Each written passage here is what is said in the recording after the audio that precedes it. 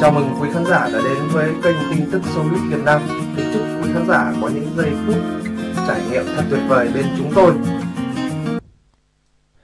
Con trai bà Tần Vlog gây bức xúc khi nhốt em gái vào chuồng chó, câu view, xúc phạm phụ nữ, mặc cho em gái hết lời lăn nỉ vì bị chú chú cắn vào người. Nhưng Hưng vẫn mặc nhiên ngồi bên ngoài cười thích thú. Trong đoạn vlog mới đây, Hưng Vlog đã làm một clip chôn em gái của mình khiến cộng đồng mạng vô cùng bức xúc. Cụ thể để trả thù cho chú chó cưng từng bị em gái chôn, Hưng và Hậu đã hợp tác để dụ em gái chui vào chuồng cùng chú chó và khóa lại.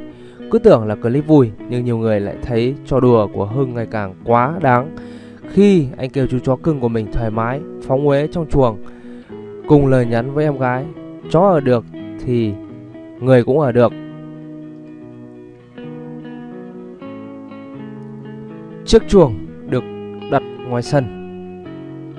Để tăng thêm phần tin tưởng cho em gái hưng đã cùng hậu nghĩ ra trò chơi, treo thưởng cho ai dám leo vào chuồng, ngồi cùng với chú chó và lập tức đi ra sẽ được tặng 500 nghìn.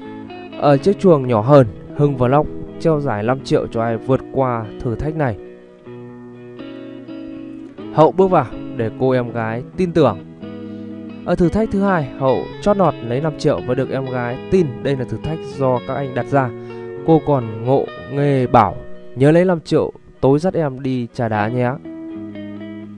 Với mong muốn giành 5 triệu như anh trai, cô gái đã vào chuồng và lập tức bị hai anh khóa lại. Hưng Vlog hả hề khi dụ được em gái.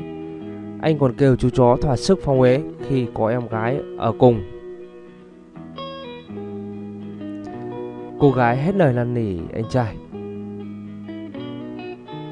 Dù là thú cưng được anh trai nuôi dưỡng, Nhưng chú chó vẫn khá hoang dại, Mặc cho em gái bị chú chó vật cắn xé quần áo, Thậm chí ghi chặt tóc, Hưng vẫn ngồi bên ngoài hả hê. Đoạn clip thu hút hơn một triệu lượt xem. Bên cạnh một số ý kiến của người hâm mộ, Thì có không ít cư dân mạng bức xúc với trò đùa quá đà này của Hưng. Cảm ơn quý khán giả đã theo dõi video clip. Nếu hay, quý vị hãy à, chia sẻ và đăng ký kênh để ủng hộ kênh càng ngày càng phát triển. Xin trân trọng cảm ơn quý vị rất nhiều.